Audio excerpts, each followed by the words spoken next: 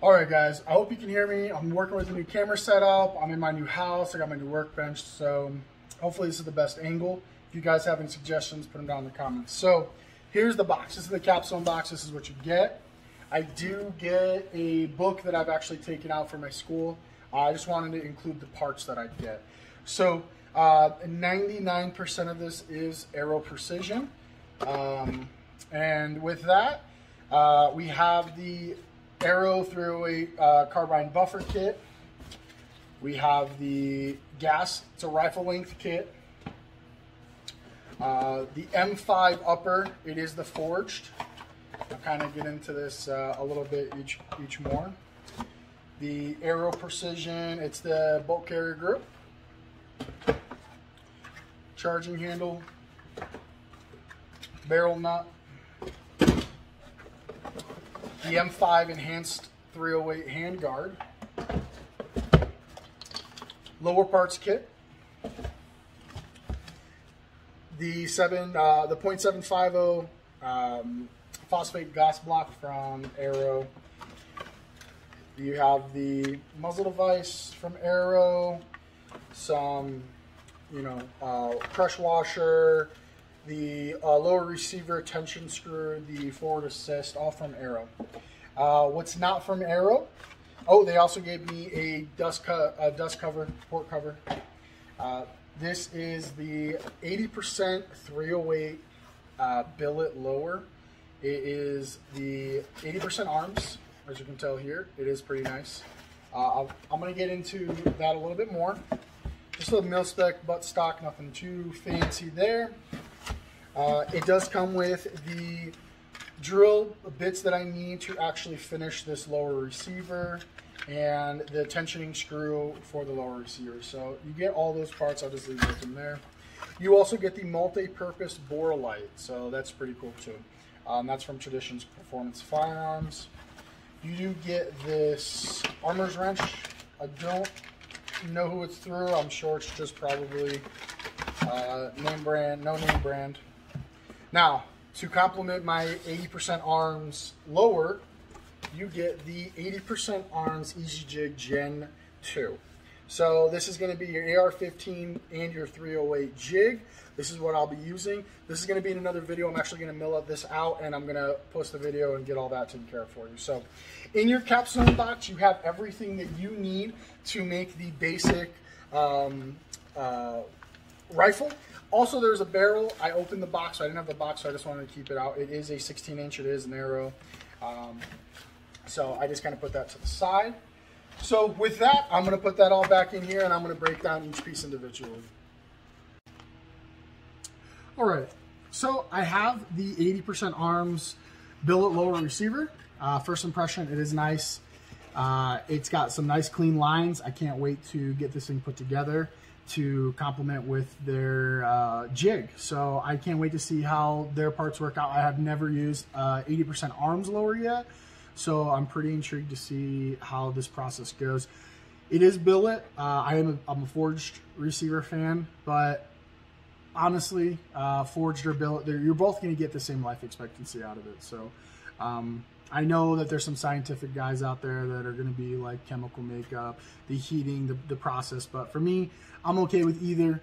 Uh, they're both going to they're both going to serve their purpose for me. So here it is. So it does have the safe and fire on both sides, which I really do like. It does have the fully enclosed trigger uh, housing. So because of that, I, am I'm, I'm a fan of that. I don't need no I don't need a, a dragon you know flare out out here. So. Uh, here it is. Now we have the M5 upper receiver. It is forged uh, out of 7075 T6 aluminum. It is nice. I've already opened it up. I actually installed the Strike Industries dust cover. It went on pretty easy. I just wanted to see I was doing something for my class, so I threw that on there already. But I think it does make a great pair uh, with this. So even without being milled out, it does fit in does look nice. Lines, a little bulky right here, uh, but I don't think it's anything too crazy or anything that I, I can't live without. Uh, perfect lines here on the side. It's gonna have the latch. I, am not too sure Um, it's a little off-centered, but it's not. I, I, think it will be fine. Uh, I don't. I, I, plan on using a, a beefier uh, bolt catch there, anyways. So I might I might just bring something down. I don't know. Uh, but this first impression of the Aero uh, upper, it, it, the color is great. I don't think we really worry about color anymore. I think you know a few years back, you you got um, some purples variations in there, but this is the coating's clear all the way through, even inside.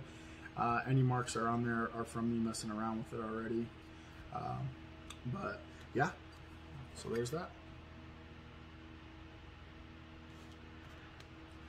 So here we have the M5 handguard. Um, it it is an M-LOK system, which I love. It does have the uh, quick detach mounts. Um, I, I think it's going to go good if we put it all together. Uh, coating looks great. Uh, I think I think it's a, a really good look. Uh, I, I've seen a lot of rifles out there with these with these, and I have no complaints of the aesthetics of them. So that's what I'm waiting for. There you go. This is the Aero barrel that came with it.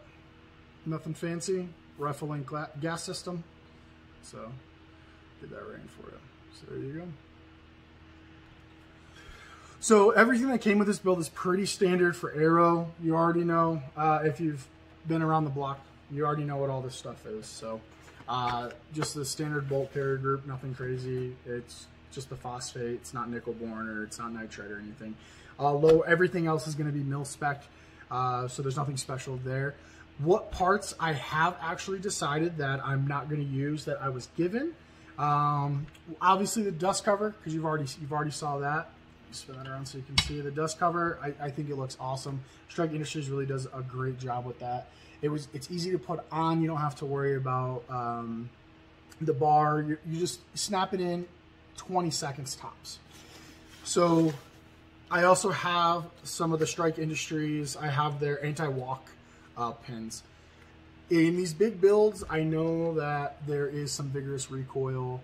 It's going to kind of be put through the work. So I wanted something that I, I, I could trust.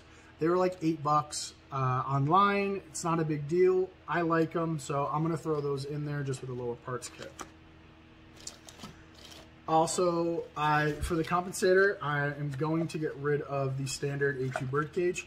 I think the A2 birdcage is great. I am just a huge Strike Industry fans. Uh, I love I love the product that they put out. I have a muzzle device uh, on every rifle of mine that I own is pretty much from them. This is uh, the J Comp uh, Gen 2. Let's see here. So this it's a really nice compensator. It's for the 308, so I can't wait to kind of get that on there and, and take a look at that. So you'll be seeing that on there. And I bought this Strike Industries oppressor. Now, for this is going to be a review all on its own. I didn't buy it specifically for this platform or this build, but I did buy it because I can use it on almost any rifle. Bring it to the range if I got a bunch of people next to me, um, or if you know I'm shooting with my wife and she's shooting next to me or something like that, I can uh, mitigate a lot of stuff. So I just wanted to, to try that out. So those are just a few parts that I uh, am going to upgrade at this very moment.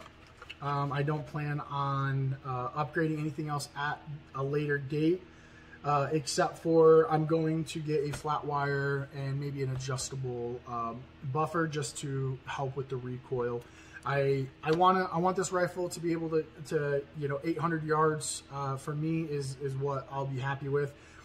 I might upgrade the barrel system later on down the road. It's something that I need to upgrade now. All of this will work to get me there. I have a good platform. So with that, uh, I'm going to get into a little bit more. All right, guys. So as you can tell, I didn't really change too much about this build because I really wanted to see what this build was capable of with the standard parts that they gave us. They gave us a lot of mil-spec parts, so I just want to see if this thing could go out there and accurately put, you know, uh, consecutive uh, shots on 800 yards. Uh, so with that, that's my hopes. If it doesn't, I'm going to build off of that, but For this video, I just want to kind of lay out uh, the plans for this build. I will be having videos along the lines of my build process. I'm going to mill out that the lower. I'm going to have that on on my own separate video. The oppressor uh, from Strike Industries, I'm going to uh, get that is going to have its own video, so that's pretty cool. I'm super excited about that. And uh, yeah, so I'm to leave it there. If you like this video and you want to see more like it, please like and subscribe. It really helps out the channel. Goes a long way. So leave your comments below. Have a good night.